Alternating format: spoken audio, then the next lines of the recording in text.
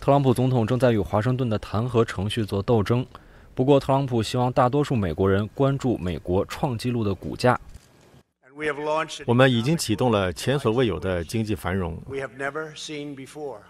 数据显示，美国失业率已经降至百分之三点五，是半个世纪以来的最低点。这进一步提振了特朗普释放的信息，这将帮助特朗普与选民建立联系。经济表现良好或者表现不佳的时候，总统要么得到赞誉，要么受到指责。但美国的经济状况真的很好吗？民主党总统候选人说，工资和贫富差距加大是特朗普总统忽视了的问题。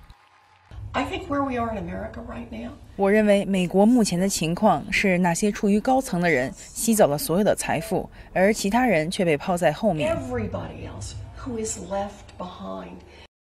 美国选民将在十一月决定谁是正确的。与此同时，经济仍存在许多的不确定性。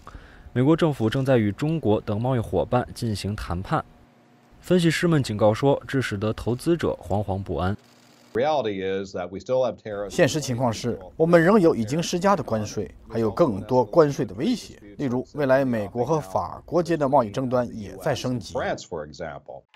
美国人对现任总统的看法存在严重分歧。随着决定性选举年的临近，对美国经济实力和收入不平等的质疑可能是一个决定性因素。美国之音杜内拉里，华盛顿报道。